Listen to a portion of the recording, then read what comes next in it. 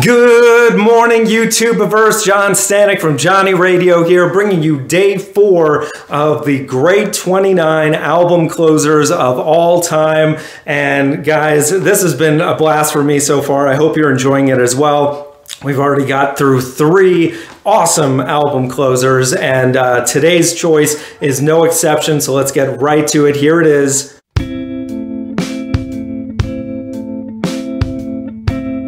Beggars by Thrice from the 2009 album of that title. Man, what an album closer this is. And this is actually my favorite Thrice song of all time. A couple days ago, I talked to you about my favorite Nirvana song. We're going to get into some of my favorite songs by artists here. And this one, man, it's just. It's another one that's a, a little bit slow. It's it's definitely you know a lot of out great album closers tend to be a little slower pace or mid pace, not uh, you know super fast, uh, and take their time to get to where they want to go. This one certainly does that, but the the lyrics are just so brilliant throughout this song by Dustin Kensrue, who I consider just a modern day prophet and one of the greatest lyricists uh, of in the rock genre that we have today, and what he's talking about in this song, I'm not going to go into too much detail. I'll let you figure it out for yourself. It, it can mean some different things to different people, but um, just so well written. And when it gets to, uh, you know, close to the end of the song, when all the rest of the band kicks in, and I, I believe both Dustin and Teppei are doing leads on this thing at the end of the song, it just, it sounds like the, the end of the world is going on. It's, it's so apocalyptic.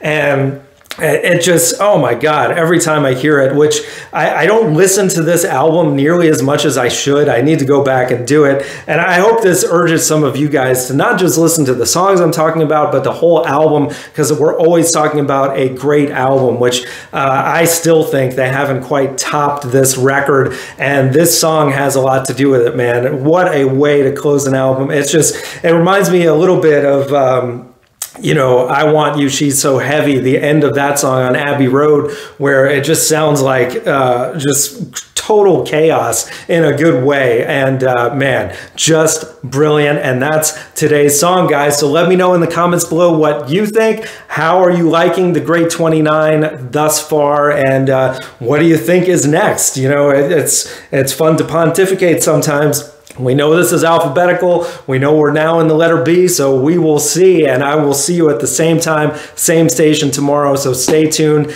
And guys, thank you so much for watching. As always, Viva La Vinyl. So guys, thanks so much for watching. Please like, subscribe, and be sure to ring the bell for notifications so you can always see great quality content like you're seeing on the screen right now. Thank you so much for supporting Johnny Radio, and I'll see you soon.